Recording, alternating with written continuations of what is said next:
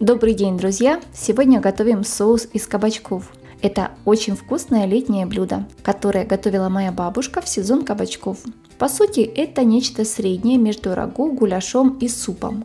Получается сытное блюдо из разряда на каждый день. Но несмотря на свою повседневность, это очень вкусная и полезная еда.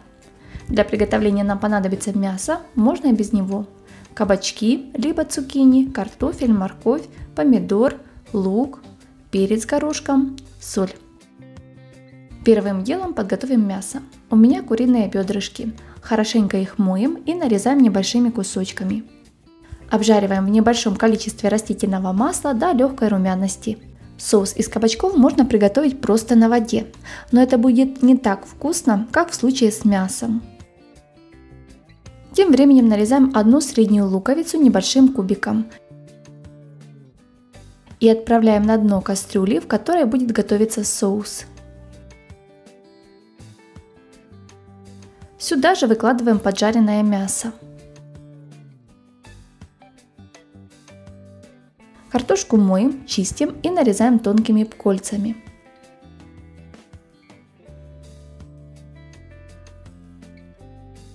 Выкладываем в кастрюлю.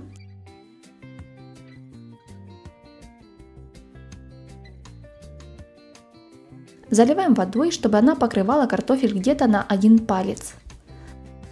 Ставим на огонь и тем временем займемся кабачками. Моем, если кожица плотная, чистим и нарезаем кружочками. Если кабачки у вас крупные, то каждый кружочек нужно разрезать пополам или на четвертинки –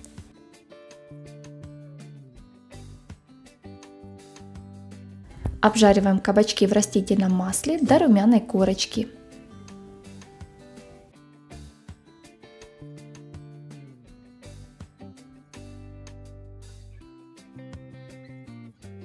Овощи можно предварительно обмакнуть в муке, чтобы корочка получилась более явная, но тогда соус получится более плотным.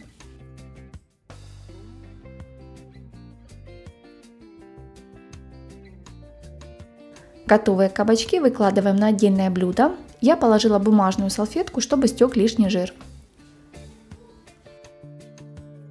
Подготовим зажарку.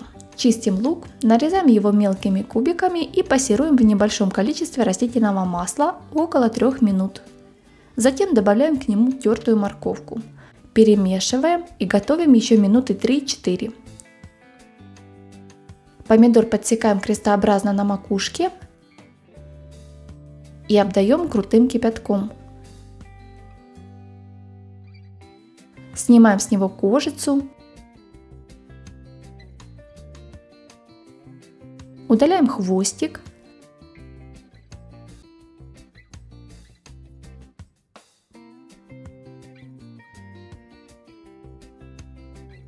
Нарезаем мелким кубиком.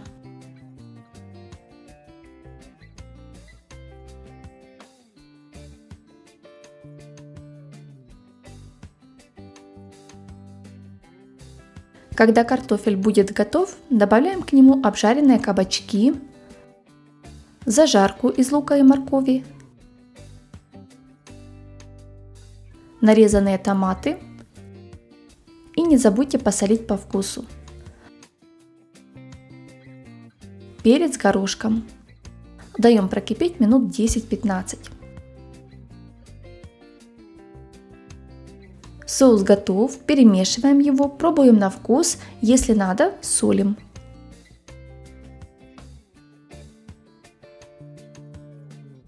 В конце приготовления я добавляю измельченный чеснок и зелень, так соус получится еще ароматнее.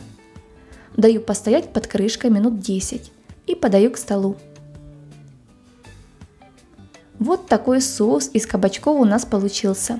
Вкусный, аппетитный и очень ароматный. Очень часто моя бабушка готовила его без мяса. Получалось вкусно, но в таких случаях она обваливала кабачки в муке.